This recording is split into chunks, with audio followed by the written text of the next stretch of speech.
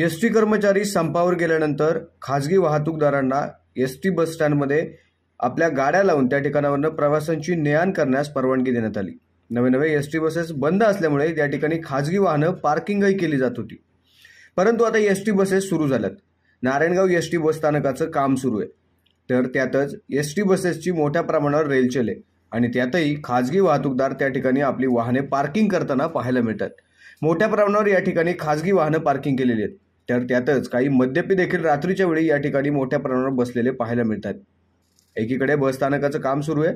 दुसरीकडे S T बसेसची मोठी रेलचेले आणि त्यातच खाजगी वाहतूकदारांनी बांधकाम सुरू असलेल्या दोन्ही बाजूला खाजगी वाहनं पार्किंग केली. त्यामुळे एस टी बसेसला अडचण होते.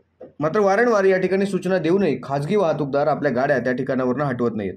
कंट्रोलर अनेकदा आपल्या माईकवरनं सूचना देत आहेत. मात्र तरी देखील खाजगी वाहतूकदार त्या ठिकाणावरनं आपली वाहनं काढत नाहीयेत. त्यामुळे आता एस टी प्रशासन आणि पोलीस प्रशासन यांनी संयुक्त कारवाई करण्याची गरज आहे. कारण आधीच जागा कमी आणि त्यातच जर खाजगी वाहन चालक अशा गाड्या लावून जाणार असतील तर प्रवाशांना मोठा मनस्ताप सहन करावा लागतोय.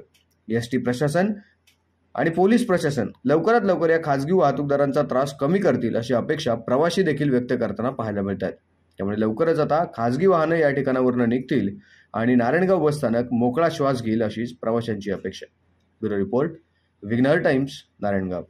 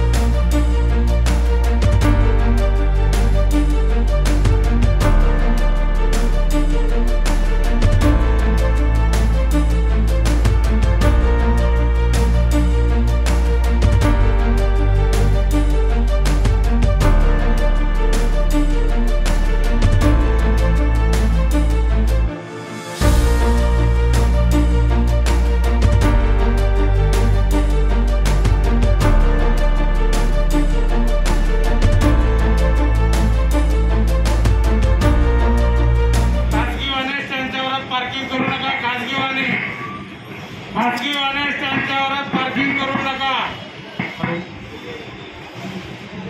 ना वाहन चालकांना सूचना खाजगी वाहने स्टँडच्या वरात पार्किंग करू नका. ऐका ना की जाऊ दे म्हणून स्थानकाच्या आवारामध्ये अनेक खाजगी वाहनं उभी राहतात. काय नियोजन आहे? किंवा तुम्ही त्यांना तिथं पार्किंग कसं करून आम्ही? वारंवार आरोपित करतो. खाजगी वाहने स्टँडच्या वरात लावू नका. बस स्थानकाच्या आवारामध्ये अनेक मद्यपी बसलेले आहेत. आणि काही खाजगी लोक बसतात. उद्या एखादी चोरी बिरी होऊ शकते. काही घटना घडू शकते. त्यासाठी आम्ही ना वारंवार माईकवर अनाऊन्स करतो. आपल्यासमोर दिसत दागिने मौल्यवान वस्तू सांभाळा. नाही नाही, इथपर्यंत ठीक आहे पण जी वाहनं उभी राहतात त्यांच्यावर कारवाई काय करता कारवाई आता ते इथं काही अधिकारी आले तर त्यांना सांगत असतो. तुम्ही अधिकारी नाही का? आम्ही अधिकारी कोणी तर गाडी नोंद करायला सांगितलं. ती जबाबदारी कोणाची? हो कुठली ती जबाबदारी कोणाची? जबाबदारी आमची पण आहे आणि अधिकाऱ्यांची पण आहे. आम्हाला वेळ भेटला ना आम्ही मारतो हो कुठली